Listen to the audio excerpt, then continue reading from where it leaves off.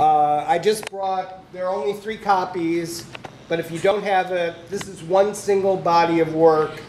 Uh, and I did this in 1996. Uh, Scott O'Hara raised money for me, or gave money anonymously for me to do this.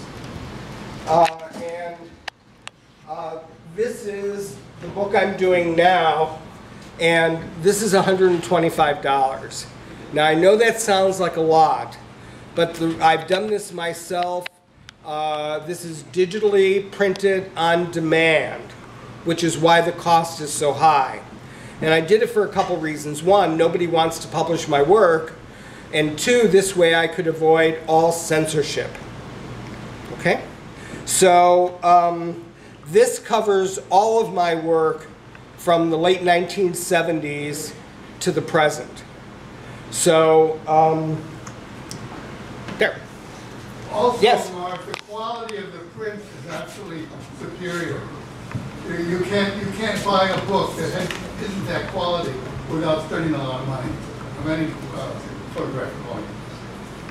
And that, by the way, is my friend Jim Campbell, who used to live in San Francisco. He bucked the trend of New Yorkers who moved to San Francisco, and he moved from San Francisco to New York.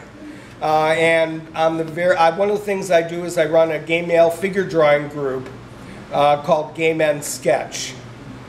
We're the oldest gay male, public gay male drawing group in the world. We're older than Leslie Lohman. We're older than Tom of Finland. Here in Um, New York. You know, San Francisco. No, in San Francisco. Um, and he was there on the very first night uh, that we did it.